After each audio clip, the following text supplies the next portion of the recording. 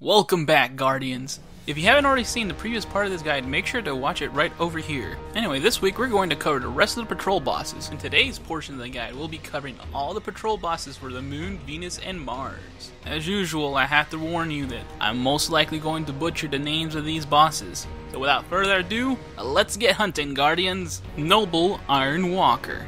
Location, Anchor of Light. Third Fallen Walker boss you can encounter.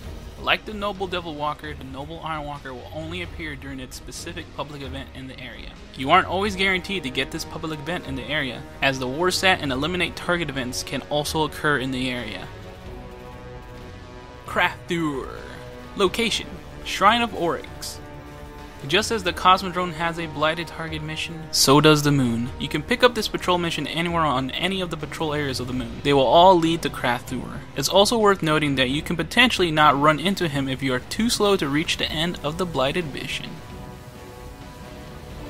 Noble Winter Walker Location Ember Caves this is the final Fallen Walker boss you can encounter. It is the same as the other public event Fallen Walkers. You must get its specific public event to encounter it. As the others, you aren't guaranteed to always get this public event as the Extraction Cruise event or the Roman Band of Pikes event can occur in the area.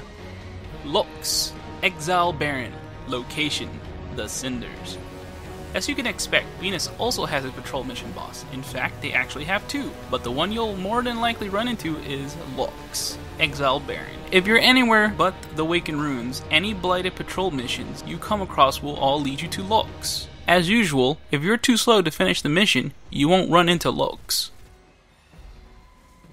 Blighted Cord, Location, Endless Steppes. If you come across a Blighted Patrol mission at the Waking Ruins, you will be heading to the Endless Steppes to meet up with the Blighted Cord. It's worth noting that it's a long path from the Waking Ruins to the Endless Steppes, so you need to be especially speedy to make sure you can actually spawn the Blighted Cord. Blighted Descendant Locations Ember Caves, The Citadel.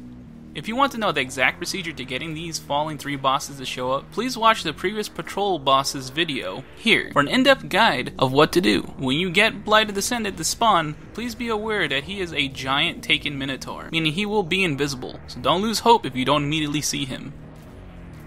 Grayris, Baroness. Locations Ishtar Cliffs, the Shattered Coast. Grayris is the only Taken boss unique to Venus. It is a giant Taken captain, so be wary of his attacks that will blind you. Sheol, Horror of Oryx. Location Ishtar Commons. In the loneliest patrol area on Venus, you can run to this guy. He's actually not unique to Mars. Sheol, Horror of Oryx. Locations The Barrens, Scablands, Rubicon Wastes. Mars doesn't really hold any unique Taken bosses, but you will have a much easier time running into this guy on Mars. Because he's located in three different patrol areas on Mars, and he is in the most populated patrol areas as well. Blighted Descendant.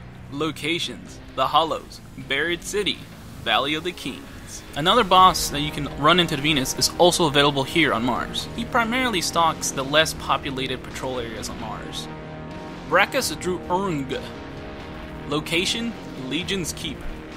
There's actually a Blighted Patrol mission you can grab on Mars. You're more likely to see the mission show up in the Rubicon Wastes, but you can actually grab this on the Valley of Kings as well. Much like the Blighted Cord on Venus, the mission itself makes you traverse a lot of ground, so make sure to be fast to get him to spawn.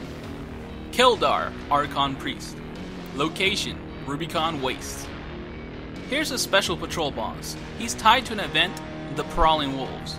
If you played during the House of Wolves expansion, you should be familiar with how these work. You see the message that the wolves are prowling, and then you have to find a fallen ship and kill the fallen there before the event is over. When you kill all the wolves, you will get Keldar to spawn up. It's also worth noting that the Taken forces and a public event can all occur at the same time as the wolves prowling, so don't get too distracted.